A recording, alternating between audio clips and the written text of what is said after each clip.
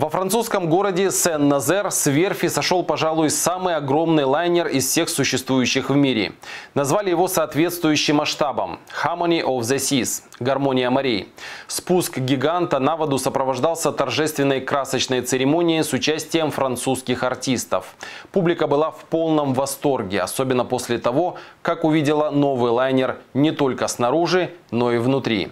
Хотите знать, как выглядит настоящая роскошь? Добро пожаловать на «Гармонию морей». Так называется построенный во Франции по заказу американской компании круизный лайнер «Красавец». Здесь одновременно помещаются 6 тысяч человек, к услугам которых 40 ресторанов, бассейны, волейбольные площадки, стены для скалолазания, концертный зал, ледовый каток и даже аквапарк с горкой для катания, которая проходит через все 10 палуб этого круизного великана. Что и говорить о его размерах, если он длиннее знаменитого «Титаника» «Титаника» на 50 метров. Единственное, что хочется пожелать кораблю, пассажирам и членам команды, чтобы судьба лайнера не повторила его судьбу. Как говорится, чтобы с морем у гармонии морей все сложилось.